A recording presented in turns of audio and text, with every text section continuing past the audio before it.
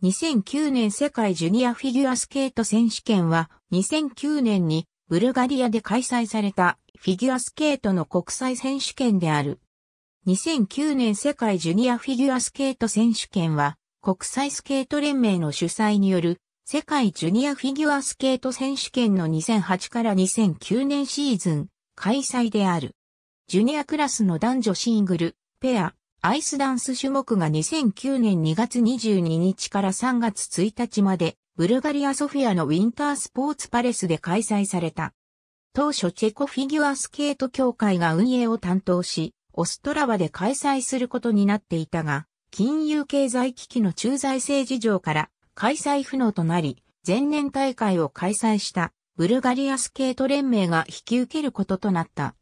開催会場は前回大会と同じであり、パンフレットなど各種デザインやロゴも前回とほぼ同じものが使われた。国際スケート連盟に加盟する各国のフィギュアスケート統括団体に対し出場枠が与えられ、各国に対する出場枠は種目ごと、前年大会の結果により1人から3人までと決められた。各国のフィギュアスケート統括団体において出場選手が選出された。